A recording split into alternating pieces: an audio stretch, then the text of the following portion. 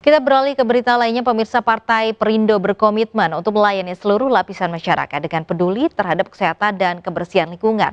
Tanpa henti, Partai Perindo terus melakukan fogging gratis demi terwujudnya masyarakat yang sehat dan bebas demam berdarah.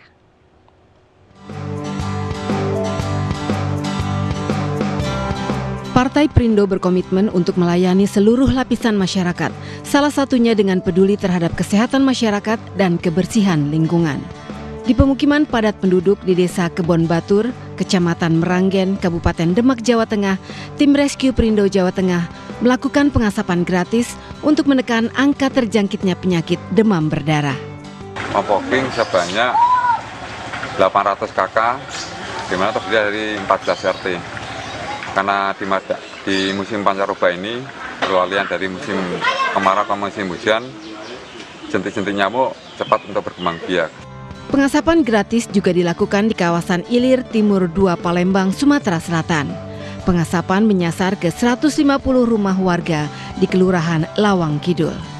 Pogging ini kita lakukan untuk uh, mencegah, mencegah uh, demam berdarah uh, dan perkembangan nyamuk.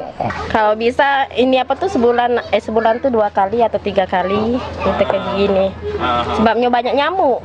Rescue Prindo juga melakukan pengasapan gratis di Kecamatan Kibin, Kabupaten Serang, Banten.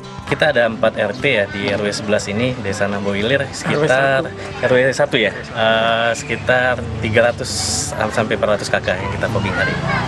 Sementara itu dua kecamatan di Kabupaten Mojokerto, Jawa Timur juga menjadi sasaran pengasapan gratis Rescue Prindo, yaitu Kecamatan Bangsal dan Kecamatan Jetis. Ada 300 kakak uh, karena memang di sini pernah ada uh, korban sakit demam berdarah. Tidak hanya memberikan pengasapan gratis, Partai Perindo juga memberikan edukasi kepada warga tentang pentingnya menjaga kebersihan lingkungan. Tim Liputan MNC Media melaporkan.